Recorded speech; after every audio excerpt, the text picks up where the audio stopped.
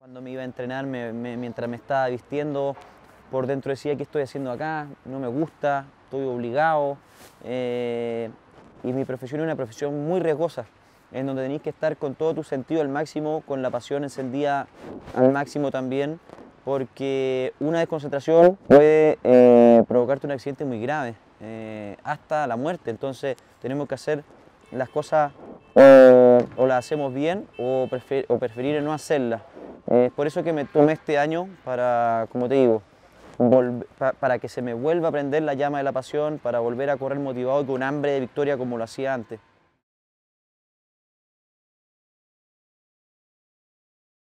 De todo el círculo de, a ver, yo, yo por, mi por mi parte también me ponía mucha presión, eh, soy muy exigente, entonces, mi primer Dakar lo gané en el 2014, después me demoré cuatro años en ganar el, siguiente Dakar, en 2018.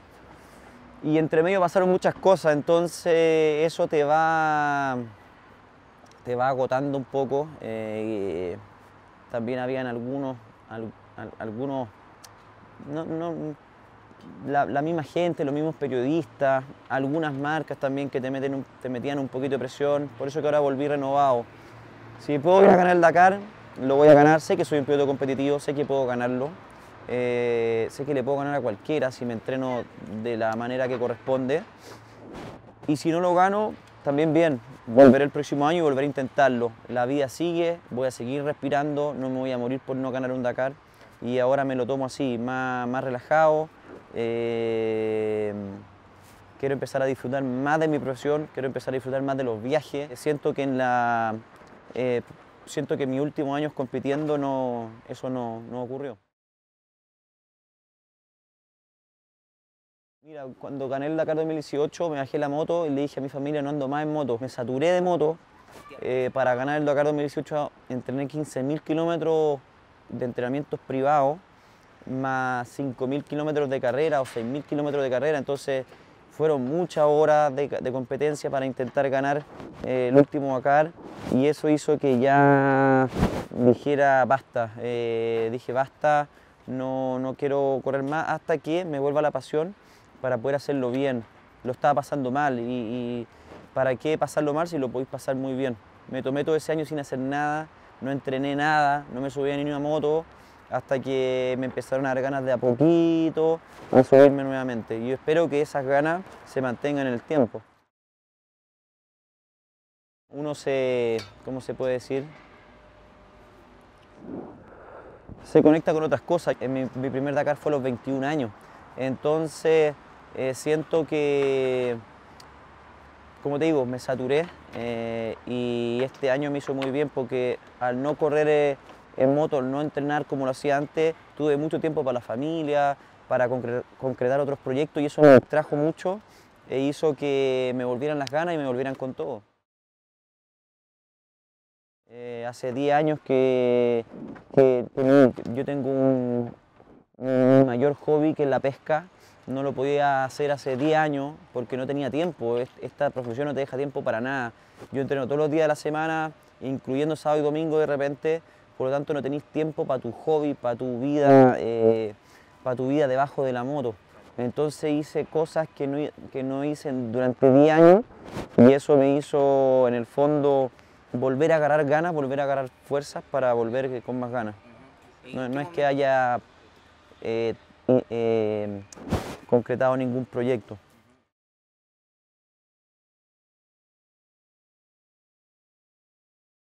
Abril de este año, más o menos, ahí dije, ahí que vamos con todo.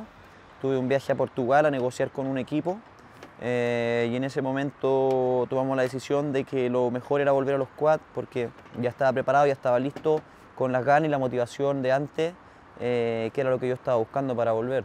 No, si no me hubiese vuelto esta llamita de la pasión, no creo que, que haya vuelto a correr. Eh, tampoco creo que haya vuelto a correr si es que el Dakar se hubiese mantenido en, Sudamérica.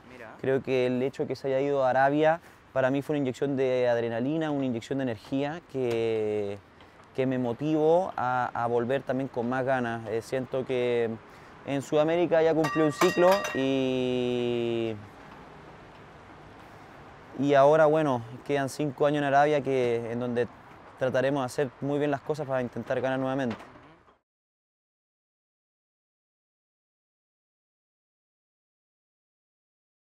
Mi, plan eh, profesional, yo tengo 32 años, la idea es correr hasta los 36, 38 años en quad, ojalá, hasta que salga algún proyecto serio de correr en UTV o en auto, un proyecto profesional donde a mí me aseguren eh, que puedo ganar en la cara en esa categoría y que solamente, en, donde solamente me preocupe de entrenar. Eh, hoy en día en la categoría side by side eso no ocurre porque no existen equipos oficiales aún, eh, van a salir, pero no sabemos cuándo. Así que esperemos que, que seguir desarrollando esta carrera lo que más pueda. Pienso correr hasta que sea competitivo. Eh, si el día de mañana, el próximo año, digo, chuta, ¿sabes qué? Ya no soy el de antes, ya no puedo ir en punta, ya no puedo ganar esta categoría. Creo que en ese minuto lo más inteligente va a ser dar un paso al costado, porque soy un piloto competitivo, un piloto que me gusta ir en punta, pero para eso necesitáis muchas cosas eh, y que lo que estáis haciendo no te dé susto. El miedo te hace concentrarte y esa desconcentración puede hacer eh, tener un accidente muy fuerte. En eh, Uyuni en 2016, cuando me sacaron con helicóptero, no me acuerdo mucho ni de antes ni después del accidente, pero me acuerdo que que de repente todo se puso negro, salí volando y de repente me despertaron y luego estaba en un helicóptero camino a un hospital. Ese momento, e, ese tipo de momentos, han sido varios así, eh, me han hecho, han sido unos cachetazos que me ha puesto la vida como para aprender, para decir, ¿sabéis que Ignacio esto lo tenéis que hacer bien, motivado o mejor no hacerlo? Eh, y gracias a esos accidentes que ocurrieron y esos malos momentos que ocurrieron, tomé la decisión también de, tomar este año, este año y medio que he tomado para volver eh, totalmente renovado. una desconcentración en mi deporte, en mi profesión, eh, significa al mínimo una fractura. Entonces no es grato eh, y no es entretenido cuando eso ocurre. Siempre está presente, obviamente, pero trato de no pensar en ello, no, trato de no pensar en la muerte. Sé que siempre, hasta cruzando la calle, te puedes morir. Ahora mismo se nos cae un árbol encima y te puedes morir. Eh, trato de hacer las cosas lo más profesional posible, trato de disfrutar el día a día al máximo, porque el pensarlo significa desconcentrarte y esa desconcentración te puede llevar a eso. Trato de hacerlo lo más eh, profesional posible, todo lo que hago para minimizar el riesgo de tener accidentes.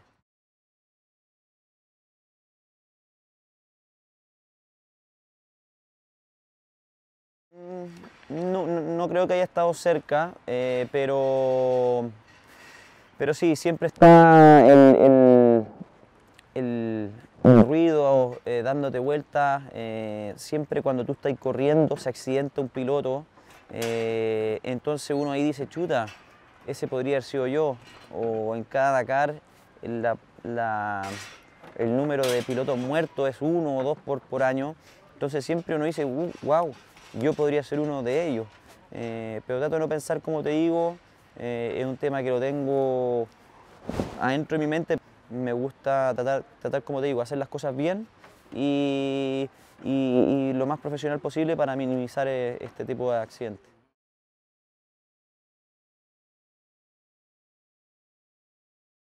Soy muy solitario, la verdad que nunca he sido muy emotivo ni de hablar mucho, de quiero, de extraño. Eh, soy muy hermético y cuando estoy corriendo el Dakar no hay nada más en mi cabeza que ganar el Dakar. No pienso en nada más. Eh, obviamente hay comunicación con mi familia, eh, pero no puedo estar pensando todo el día en la familia porque de esa manera no puedes ser campeón, por lo menos en mi caso necesito estar 100% concentrado. Eh, es mucho el trabajo que hay que hacer para ganar un Dakar. Entonces, de repente, cuando queda un tiempo, un mensaje al grupo familiar eh, y ya está.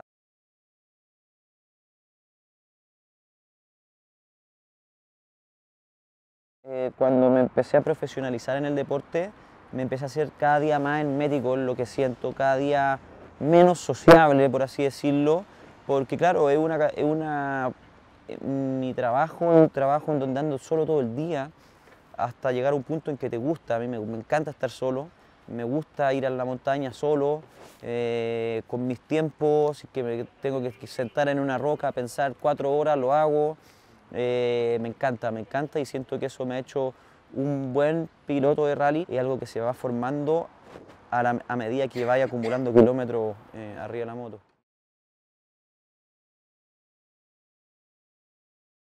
Yo trabajo con psicólogo deportivo, Enrique Aguayo, en el METS. Trabajamos harto juntos.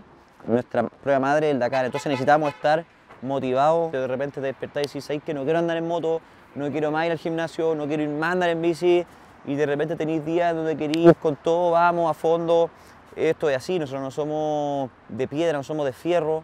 Eh, somos igual que el resto del mundo. Tenemos momentos buenos, momentos malos y es por eso que necesitamos de repente un ayudo psicológico deportivo en mi caso, para que me mantenga siempre lo más eh, motivado posible y con el foco siempre, siempre puesto donde tiene que estar. Me gusta mucho la música, escucho mucho música, eso me motiva mucho. De película no soy muy bueno porque me quedo dormido eh, eh, a los 10 minutos. Llego con el 1% de batería en el cuerpo y cuando me acuesto a ver una película no, soy capaz. El tema de, la soledad también me hace mucho pensar. Eh, ese tipo de cosas son, eh, son las que a mí me, me, van dando energía día a día para poder para, salir a entrenar en las mañanas con todo e intentar eh, ser, ser mejor cada día. La verdad que no tiene, no, sé si tiene algún costo. Esto te aleja un poco de la familia. Eh, para ser campeón del Dakar, independientemente de la categoría en la que corráis, tenéis que estar entrenando todo el año, todos los días de la semana. De repente tú decís voy a descansar el sábado el domingo y no, el sábado el domingo igual salías a pedalear, igual salías a, hacer algunos kilómetros de moto. Eso te aleja un poco de, tu, de, lo que una persona normal le gusta hacer, que, que de repente, no sé, los domingos una comida familiar, eh, muchas veces no he podido, eh, o un viaje familiar, muchas veces también me lo he perdido. Ese tipo de cosas siento que echo de menos, y, pero bueno, esto es un ciclo, estoy viviendo mi sueño, mi sueño es cuando yo era pequeño, quería ser piloto profesional de carrera, de cualquier cosa, pero quería ser como sea piloto profesional, lo cumplí, estoy viviendo mi sueño y son costos que que vienen de la mano del mismo sueño. No creo que sea algo malo, sino que siento que con cada una de estas cosas uno va aprendiendo, va valorizando más las cosas y el día que me retire voy a aprovecharla eh, quizás con el doble de fuerza que lo haría hoy en día.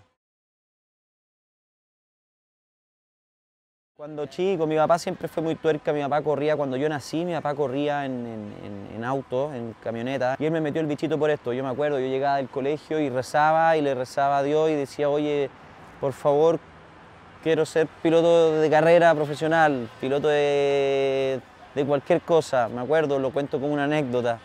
Eh, hasta que se cumplió, luché, luché, luché, luché, hasta que se cumplió, pero no fue un camino fácil. Recién a los 20 24, 25 años me, pude hacer profesional.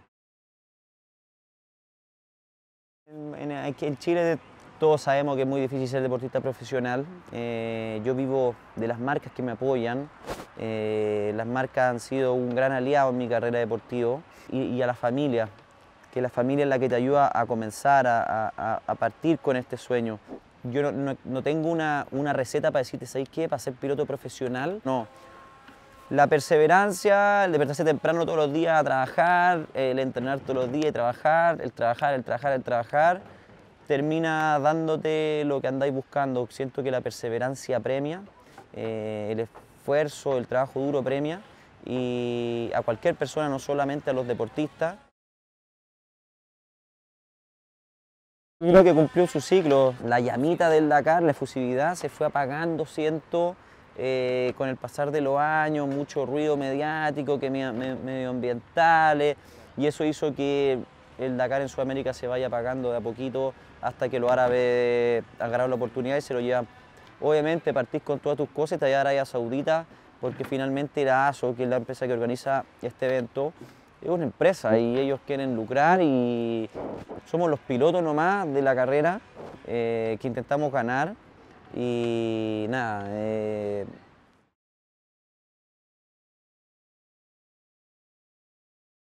ese también es un tema importante de mi decisión de volver, porque los últimos años cuando me invitaban a los programas de televisión, me invitaban solamente a preguntarme cosas medioambientalistas.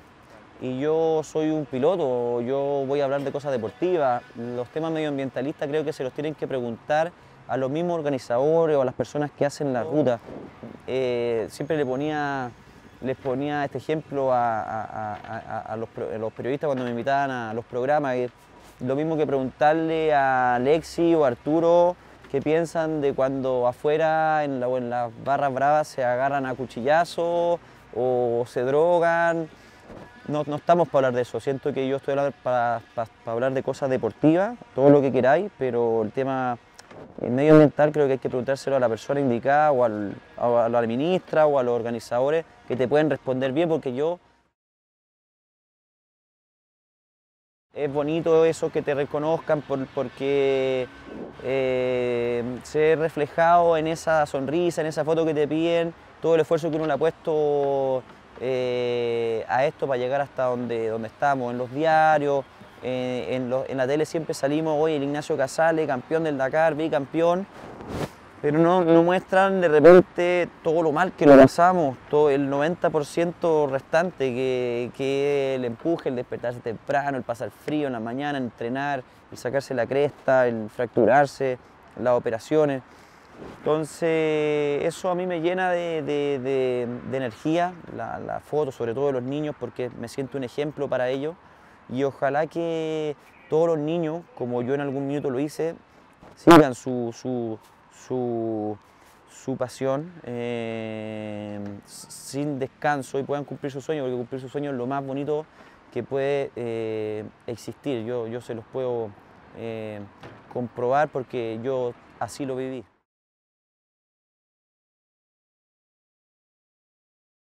Yo creo que el tema psicológico, yo creo que las fracturas, qué sé yo, son, son dolores momentáneos. De repente estáis achacado o estáis bajoneado anímicamente después de un Dakar que te fue muy mal. Y, me, y, antes me costaba mucho recuperarme, me costaba mucho salir eh, nuevamente motivado para volver a, a entrenar y para volver al próximo, a intentar ganar el próximo Dakar. En mi carrera ha sido el Dakar, mi primer Dakar, inolvidable. Valparaíso, la Plaza Sotomayor llena, nunca me voy a olvidar. Cada vez que veo ese video en YouTube se me acelera el corazón y siento la misma sensación. Y bueno, y el Dakar 2018 cuando volví a ganar nuevamente también fue muy bonito, pero no fue la misma sensación que la primera vez.